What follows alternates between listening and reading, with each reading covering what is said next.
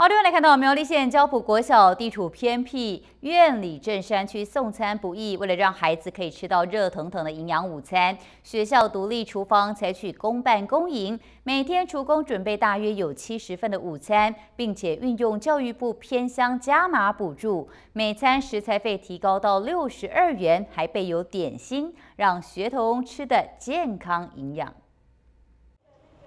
备妥新鲜食材，厨工阿姨忙着精细，要为孩子们烹调出美味可口的营养午餐。位处于苗一三零线的苑里镇交浦国小，校方考量到山区送餐不易，此外也是希望饭菜能够确实保温。学校自行设置厨房，营养午餐也是采公办公金。今年就是教育部在补助偏乡厨房的部分，在食材已经提升到了啊六十二块，包含三张一 Q 的十四块。那还有石斑鱼计划也都是在补助偏乡的一个食材的部分啊。其实我们还是希望还孩子不会因为偏乡食材啊无法运送，或者是啊运费的一个把它消耗掉，所以教育部还是希望偏乡的孩子能能够吃得好，然后吃得足，吃得健康。受到原物料涨价的影响，营养午餐的食材费用也随之调涨。针对偏乡学校，教育部在这个学期将补助费用再提高。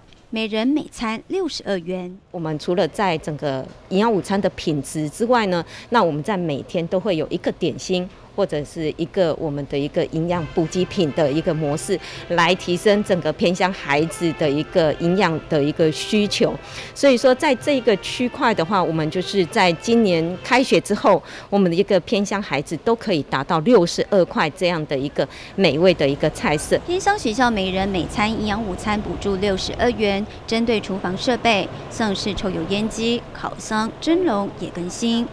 资源不因交通距离而受到限制，也让家长更加放心。